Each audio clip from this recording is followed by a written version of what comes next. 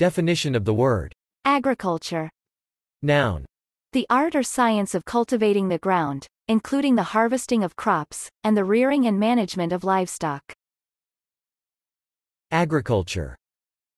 Agriculture. Agriculture. Agriculture. agriculture, agriculture, agriculture agriculture